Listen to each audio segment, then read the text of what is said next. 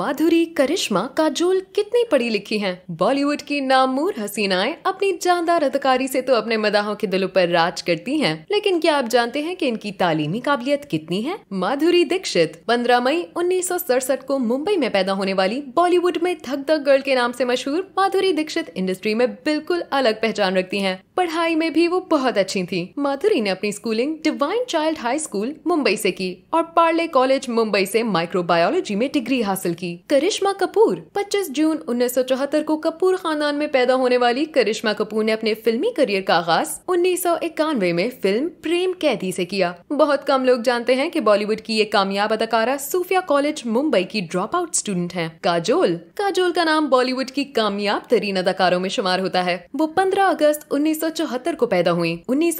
में फिल्म बेखुदी से अपने फिल्मी करियर का आगाज करने वाली काजोल के बारे में बहुत कम लोगों को पता है कि वो Saint Joseph convent school school Panchgani Maharashtra की एक ड्रॉप आउट तालबा है हाल ही में काजोल ने अपनी वेब सीरीज में एक वकील का किरदार अदा किया जिसे मदाहों ने खूब सराहा